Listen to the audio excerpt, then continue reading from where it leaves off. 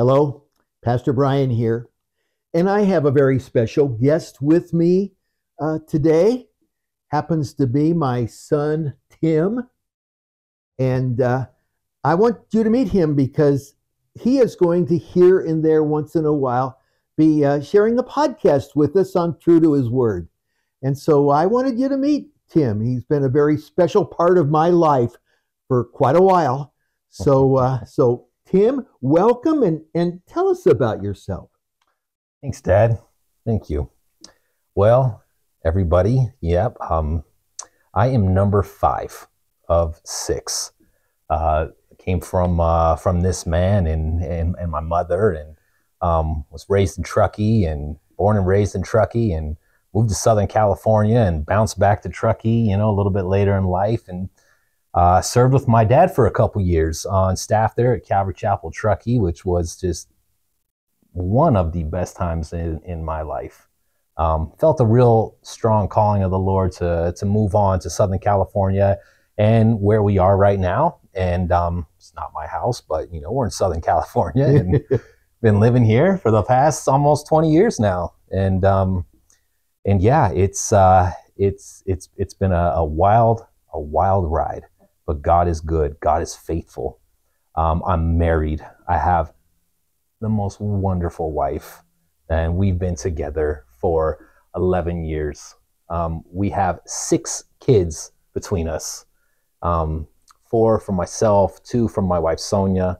Um, and so we had a, a pretty wild household for, uh, you know, the past 10 years, uh, nine years. And then kids started growing up and moving on and moving out. And um, we're down to a pretty small household now. Uh, just uh, just two remain at home right now, and uh, it's it's it's a blessing. But that is uh, you know a huge part of who I am, and uh, but the most important thing in my life is my relationship with Jesus. And man, I love His Word. I love His Word, and I love His Word because it's not just like you know, great stories and, and wisdom, which, you know, a lot of people look at the Bible, oh, Jesus was a great teacher and things like that. Um, but it's bigger than that. It transforms your life. It awakens the soul. Um, it has done that in my life. I've seen that happen in countless other lives. And even when there's just been tough times, and as I get to share with you guys a little bit, you know, and you guys will get to understand my testimony, and I'll share things about what's gone on because life takes place you know, life isn't easy. Life gets tough. Sometimes tough things happen. Sometimes you have to deal with repercussions of bad situ- uh, bad decisions. Um, and you know, I I lived through all that. And uh, but you know what has never changed? The faithfulness of God. The faithfulness of God, His faithfulness to forgive, and His faithfulness to be there with you, no matter where you are, no matter what you're going through one of the most powerful things to me is that no matter what happens in life, like it doesn't change, the cross is still there. The cross happened. So no matter what situation you get yourself into, all the different places I've been, the bad decisions I've made where I've just been like, what happened? But then I look to the cross and the cross says it's done. It is finished when Christ went there and it's empty. So it it it's finished. It was we're forgiven, we're washed, but then better and greater than that is the resurrection that you know my dad got to go a little bit in detail with you know last you know about a month ago or so and just power there. So guys, I'm so excited to be here. I really am. I'm excited. Um, I'm excited to share things with you as the Lord just kind of places things on my heart and uh, you know go on this adventure it's going to be adventure. It's going to be fun.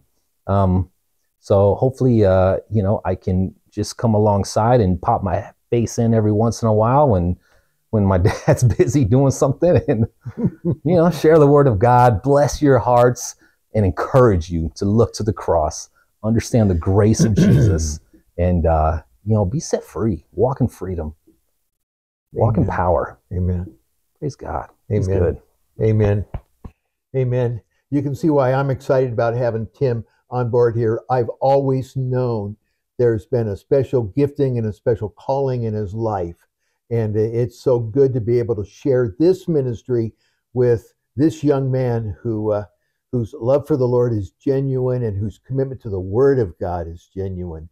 Uh, you know, I've always looked at Tim uh, in all the growing up years and everything as my spirit filled son, uh, just right from the beginning. I mean, in kindergarten, uh, around the lunch table, he would lead the kids at his table in a in a in a prayer, uh, thanking God for the food, and and uh, he just he was always very open and bold about his faith in Jesus Christ, and I've seen that faith carry him through.